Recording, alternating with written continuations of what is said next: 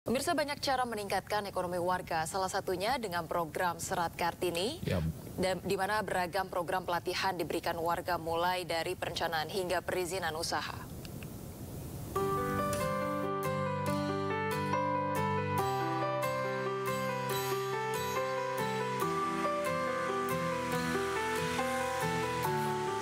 Salah satu figur perempuan kuat dan tangguh yang menjadi inspirasi adalah Raden Ajeng Kartini. Kartini memperjuangkan nilai-nilai kemandirian dan kesetaraan bagi kaum perempuan.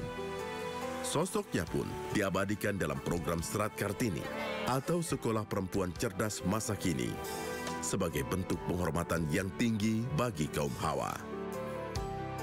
Serat Kartini itu singkatan dari Sekolah Cerdas Perempuan Masa Kini.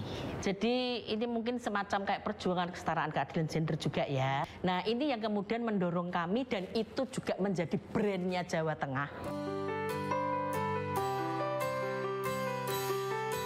Desa Wonosari, Kecamatan Sadang, Kabupaten Kebumen adalah salah satu desa yang sukses berkat kegiatan peningkatan produktivitas ekonomi perempuan dari program Serat Kartini yang diinisiasi Gubernur Jawa Tengah Ganjar Pranowo. kami kayak gitu. Oh, minta uang untuk beli sabun. Biasanya kayak gitu kan. Kalau untuk antusias ibu-ibu di PPIP Stinggil itu luar biasa sekali. Kemudian mereka juga sangat konsisten dan mau belajar untuk bisa lebih baik.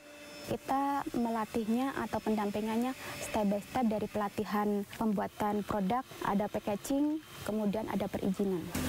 Program Serat Kartini dari Gubernur Jawa Tengah Ganjar Pranowo berdampak signifikan pada peningkatan ekonomi. Nyatanya, omset penjualan para perempuan di PPEP Stinggil pun mengalami kenaikan hingga 2 juta rupiah per bulannya. Dan jalanilah kehidupan sehormat-hormatnya.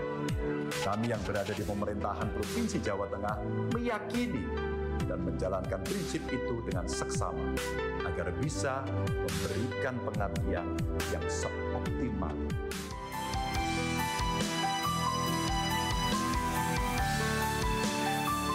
Kini, melalui program Serat Kartini, semakin banyak perempuan di Jawa Tengah yang mandiri, terampil dalam pengambilan keputusan, berani berkontribusi dalam pengambilan keputusan, dan memperjuangkan hak-hak perempuan.